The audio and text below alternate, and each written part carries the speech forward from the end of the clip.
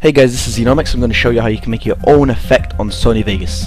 Doesn't matter what version you use, most versions should have the same ability. Right, so I'm going to go to Project Media. I'm just going to put a random photo just for this example. I've got black bars, I don't want black bars. I'm going to go to Pan and Crop, and I'm going to drop down menu 69 widescreen aspect ratio. Right, so this is what it looks like. And what I want is kind of like a soft border from the outside effect.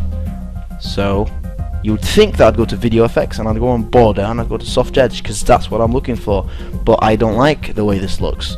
I want more flexibility with the border, more kind of oval control, X, Y control kind of thing. So I'm going to remove this. Okay. And I'm going to go to light rays here. Obviously I don't want light rays on the effect, I want a smooth kind of soft edge to it. So what I'm going to do is I'm going to remove the sensitivity down to zero, strength down to zero, and I'm going to click on bound radius. Look at this. Right, this is my wanted effect, but it's just a bit too dark on the edges, so I simply mess around with the uh, controls I have here. So I'm just gonna, I'll show you what it looks like.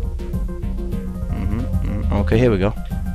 So as you can see, it's got like a a nicer, softer edge now. Nicer than that boring old normal, you know, black border, which is default. So, I'll say for example I like this and I want to save it.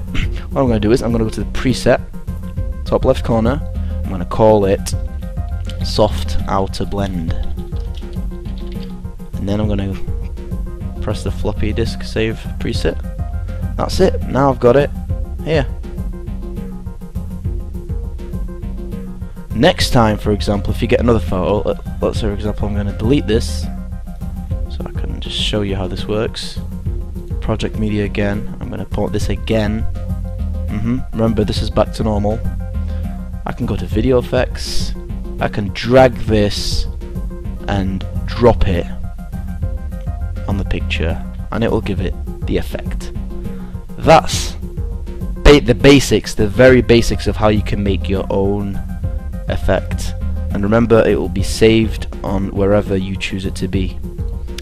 Thanks for watching. You can check out more tutorials on my channel. See ya.